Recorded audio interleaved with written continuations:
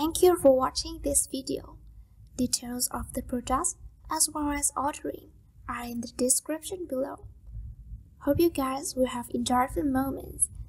Goodbye and see you in the next video.